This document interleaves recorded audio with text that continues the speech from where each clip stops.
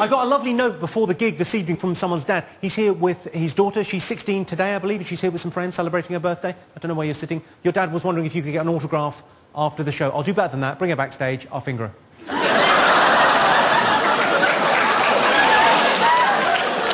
I'm joking. I'll fuck her. I often get asked after the show, the most common question after a show is, what's the most offensive joke? What's the worst joke? Now, I don't think I can tell you the most offensive joke. Because I think offence is taken, not given. That's not just an expression. That is how it tends to work. Different people take offence at different things. So I can't tell you what the most offensive joke is. But we could see. we could start gentle and work our way up and see at what stage, as an audience, you go, oh, for fuck's sake. Do you want to give it a go? Yeah! OK, well, let's start gently. Baby steps. All right, we'll start gentle. Very sad when Princess Diana died. And all London got was that shitty fountain. Still better than Paris. All they got was a slow down sign. no one that offended. But you should have heard the fuss when I suggested it on the Royal Variety. Do you remember where you were when you heard Diana died? I was in Kensington Gardens thinking this place needs something. the Twin Towers was the best of the Lord of the Rings films. no, the Twin Towers. Do you think it would have seemed less tragic if they hadn't been twins? I'll be honest with you, I feel more sorry for the people in the second tower than the people in the first tower. Do you? Because the people in the second tower, imagine that. Imagine you get into work one morning, the building next to yours, identical to yours, gets hit by a fucking plane. What's your first thought going to be? We dodged a bullet. Unlucky. Five minutes later, oh, for fuck's sake. okay, you all seem fine so far. Let's go up a gear in terms of offence. Let's change tacks a little bit.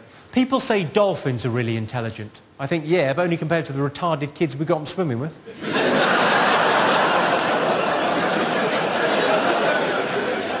when a dog is on heat, it means it wants sex. That is my defence. it's a good area for offence, that, isn't it? The weird sexual things that other people do that you've heard about, you'd never dream of doing, but you've heard about. Felching is a good example. It's even a horrible word, felching. For those of you that don't know, felching is the retrieval of sperm from the anal canal via suction. I know. How mental's that? It's like fucking someone in the arse and then going, I take that back. no one offended by felching. Okay, let's go up another gear. I've got a friend that recently had an abortion. But on the positive side, Slimmer of the Month. Badge and a round of applause. She can't believe her luck. On the subject of abortions, a lot of people support a woman's right to choose. But I think, if I'm paying for it... I'm joking, I never pay. It doesn't cost anything to fall down the stairs, does it? Some of these girls, I swear, they think I'm made of coat hangers.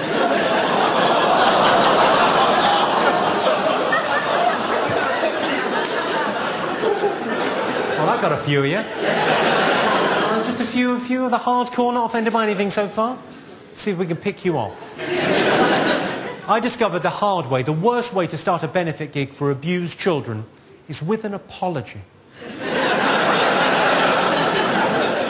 I said I was sorry, I don't see what the fuss was about. If men fall asleep directly after sex, why is it so difficult to catch a rapist?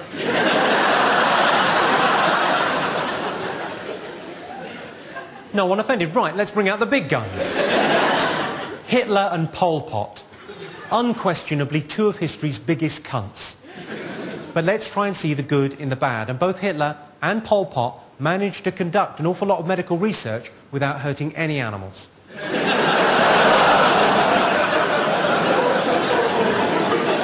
I put it to you, if you're not even a little bit offended, you haven't really understood that.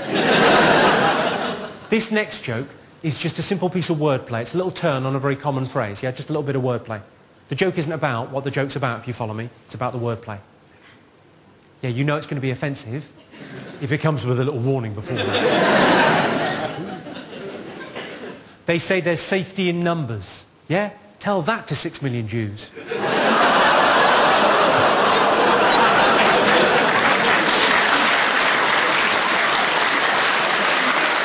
really, London? Really? A round of applause? Because to my mind, that should be the most offensive joke, not just in the show, but in the world ever. Because content-wise, that's a joke about the worst thing that's ever happened.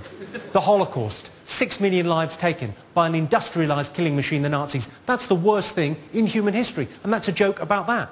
But it's not that offensive a joke. It's not anti-Semitic. It's not racist. It doesn't hate anyone. I mean, it's in bad taste. I'll give you that. Because it's, it's taking lightly something very serious. And that's like the definition of bad taste. I put my hand up to bad taste. Obviously, I'll put my hand up like that. Not like that. that's only going to make things worse. Never high-five a rabbi. Now, the most offensive joke in the world, if you judge it by offence caused, yeah, the, the, the, kind of consequence of the joke, rather than the content of the joke, is actually a cartoon done four years ago, yeah, caused more offence than any other joke in human history. It was of Muhammad with a bomb as a hat, done by a Danish man. There was protesting all over the Islamic world. They don't like iconography at the best of times. They certainly don't like people taking the piss. So there was protesting all over the Islamic world. Some of those protests turned into riots. Three Danish embassies burnt to the ground and ten people lost their lives in rioting. All because of a joke about somebody's imaginary friend.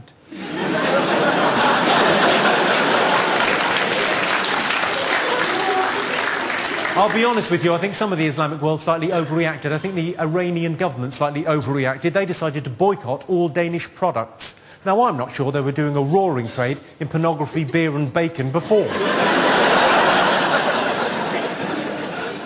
So that is, for what it's worth, the most offensive joke in the world ever. Ladies and gentlemen, thank you so much for coming to the show tonight. Thank you so much for buying the DVD if you're watching this at home.